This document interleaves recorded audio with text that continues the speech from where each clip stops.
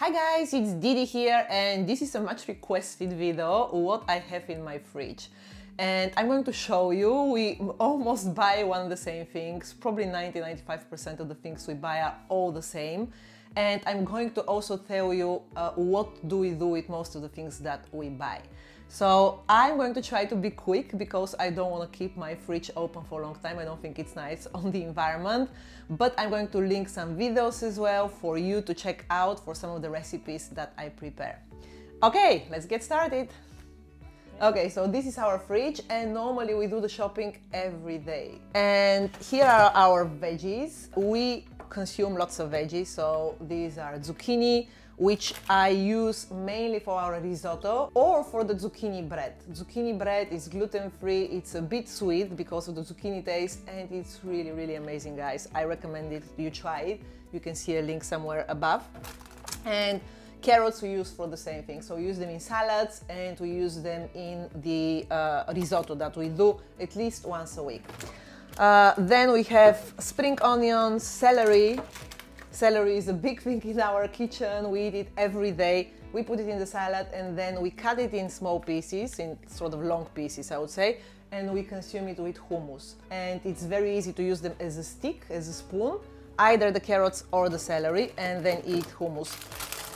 Here we keep uh, as well, pretty often now, leek I did not cook with leek at all before. I now we cook with leek because I found these amazing recipes with the parsnips, the mushrooms and the leek. I think everybody should try it. It's an amazing, it's very easy to make and it's super, super delicious. So this is the reason why now we have leeks every week. And of course we have uh, cucumbers for the salad and tomatoes again for the salad. We use them either on a separate, in a separate bowl or we put them in the salad. In our family, uh, we eat salads every night. Every time when we're at home, we prepare a salad. We normally put everything we've got, which is usually cucumber, tomatoes, and lots of seeds. So we put sunflower seeds and we add chia seeds. And usually we use peppers as well for the salad. And the other thing, the other thing, where is it? Maybe we don't have this time. Ah, beetroot. Yeah. So salads, very big thing for our household. Here, Normally we keep different sorts of meat. I think this is kipper. I'm not sure what's the name in English. I think it's kipper fish.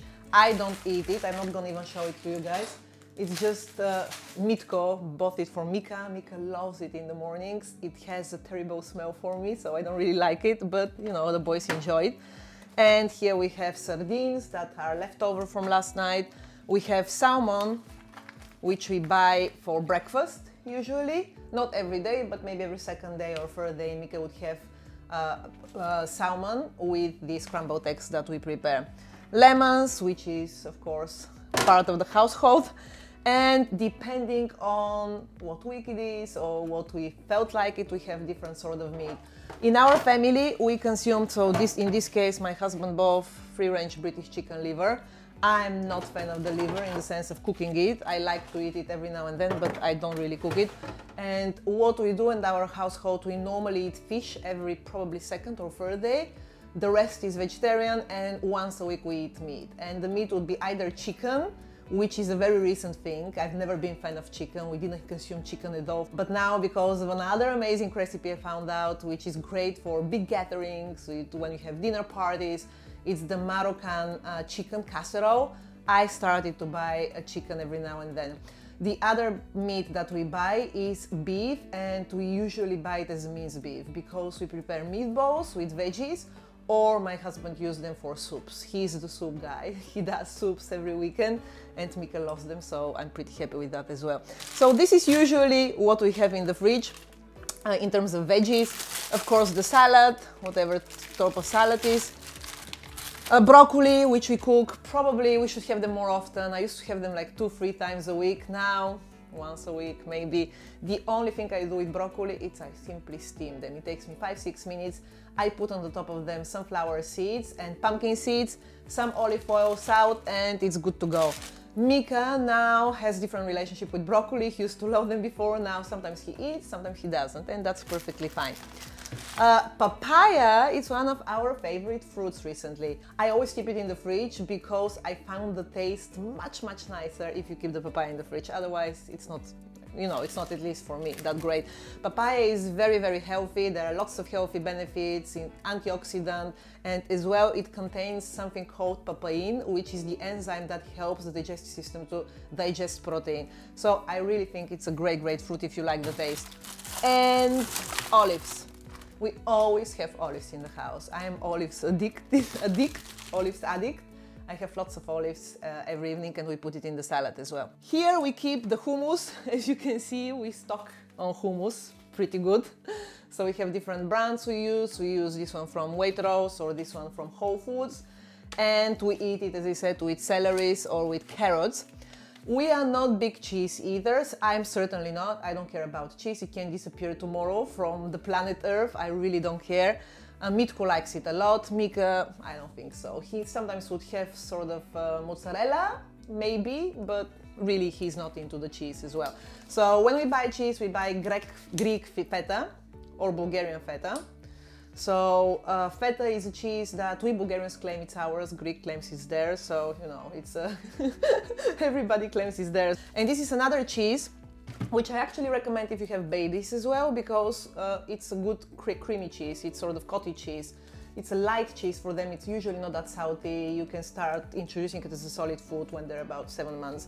So this is one of the brands that they like, not me. As I said, I don't really want it. And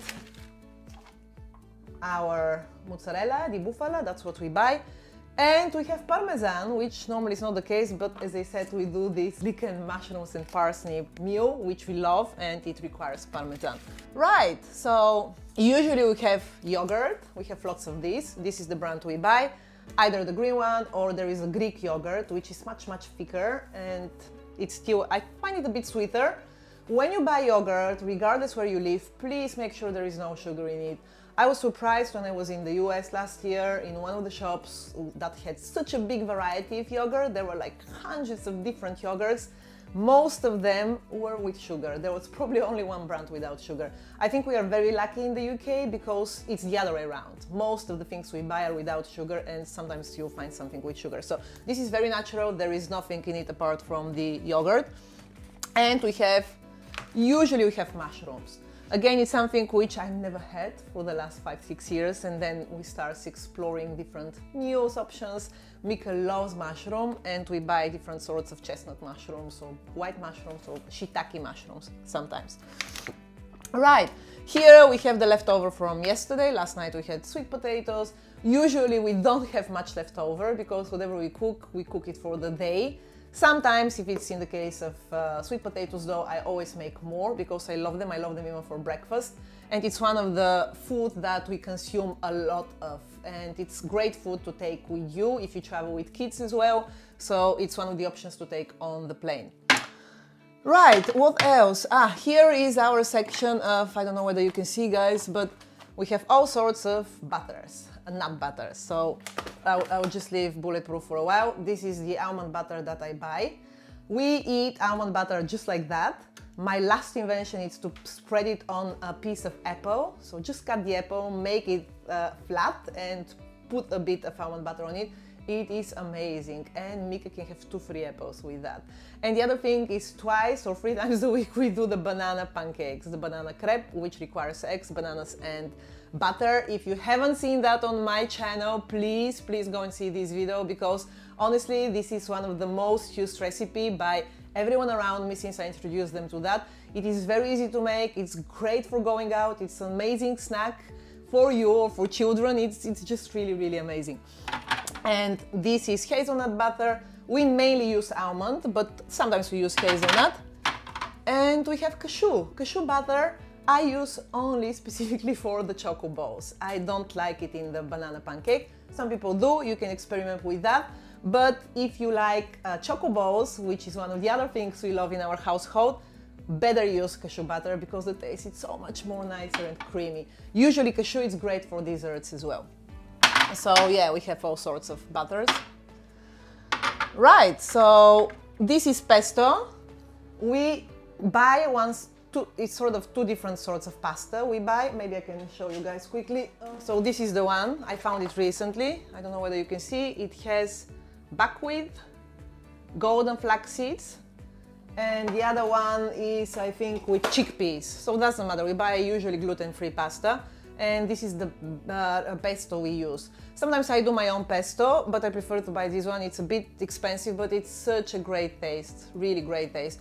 Again, when you buy pesto, make sure there is no sugar. They put all sorts of sugars and conservatives in pesto. This brand is amazing because literally it only has the cashew nuts and then the virgin olive oil and the basil and pine nuts. So it's really nice. This is what we give to Mika in the morning to boost his immune system. Not always, but for example, this one we're not going to give him every morning. This is the Sambucol. It supports the immune system, but if we see that he's coming with a running nose or something like that, we'll give it to him. This is vitamin D for him. So we literally give him a couple of drops. This is something um, it's from the bees. I don't know how, how is it in English. This is what my mom brought me from Bulgaria. I'll check it out and probably write it down. And this is called the Royal Jelly. Again, it's a product from the bees. You can just give them um, just very, very little uh, below their uh, tongue. So yeah, these are the different stuff we give to Mika. We keep them in the fridge and and I was somewhere. I wanted to show you, yeah, the bulletproof coffee. Bulletproof coffee. I don't drink coffee, but Mitko does. So he doesn't do it every day because it requires some effort to prepare it, probably about five to ten minutes, which we never have. But in the weekend, sometimes he'll have it. Right, so let's move. Okay, here are eggs. We consume lots of eggs in our household. Normally breakfast is scrambled eggs. Mika and I, we share the scrambled eggs Mitko doesn't have breakfast because he, has, he does intermittent fasting, which means he doesn't eat anything for 16 hours. And it's been a year since he's doing it, so for us it's fine. We always share breakfast, Mika and I only. Here is the butter. Regardless, we buy different brands, but usually it's unsalted butter, which is uh, organic. And then here we have different stuffs, so drinks which are not always in our fridge. Now I have them because I ordered recently. These are heavy and usually I order online.